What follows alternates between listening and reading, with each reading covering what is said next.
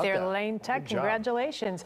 Well, tonight, a 20,000 square foot clubhouse is under construction for kids in the northwest suburbs. That sounds like a dream come true for a lot of young ones. The Boys and Girls Club of South Elgin is slated to open later this year. Organizers gave WGN's Rob Sneed a sneak peek.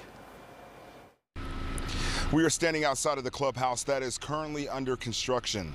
Organizers say this will help so many children, many of them in need. In the middle of this entire space will be the gymnasium. This space will soon look like these renderings. A new Boys and Girls Club in South Elgin. Damon McDade was a member of the club when he was just six years old. Today, he's still involved. For me, really and truly, is that I see young, these young people uh, a lot of myself, and, and, that's one of the reasons why I think this is most important. That the way to spend that time, using your time, talent, and treasure, just in connecting with them. Now 47, McDade looks back on his childhood. He grew up with a single mother, and at times that was challenging.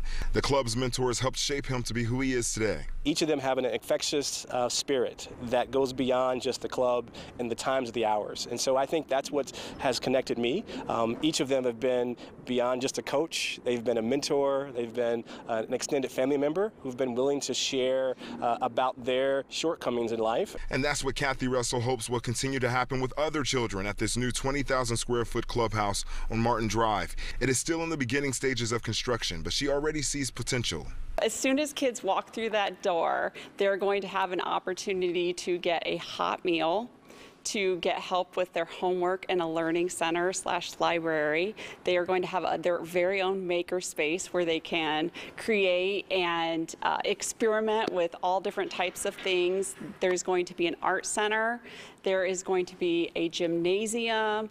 Russell hopes the $4.25 million project will bring kids from all over the area to let them know they are never alone.